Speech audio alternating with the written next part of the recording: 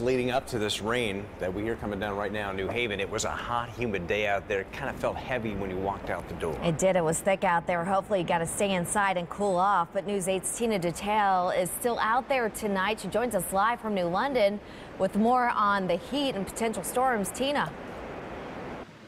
Yeah, you know what? As Fred said, no thunderstorms here yet, but you can almost feel it in the air. Hot and muggy. Almost makes this fountain here look very refreshing. But remember, you're not supposed to go under it.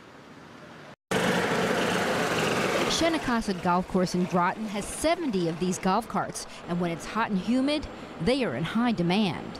Most people would rather walk but if you're going to play and try to focus, it's really difficult. Win Bohannon is playing in the Connecticut Senior Open and knows how to keep cool. Lots of water.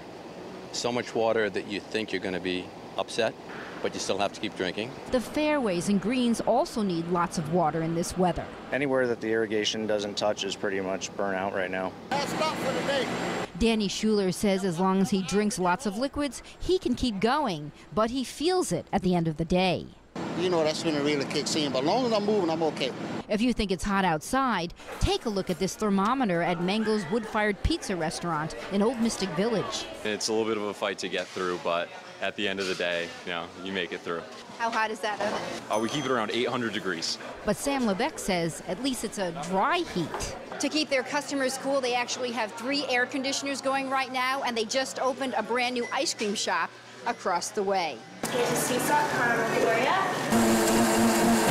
Mango's homemade ice cream can cool folks down as well as the Vault Coffee Roasters next door. This is called the Black Velvet. It is a cold brew coffee concentrate with vanilla syrup and half and half. Sitting under the tree and there's a nice cool breeze. Scott and Susan Hull found this cool spot at UConn's Avery Point in Groton. I call this our happy place. It sure is. Now, the breeze and the shade, that really makes a big difference. Now, I spoke to Ted Osak, who told me that he played golf in Farmington this morning. He says by 10 o'clock, it was already 90 degrees there. We're live in New London. Tina Detelj, News 8.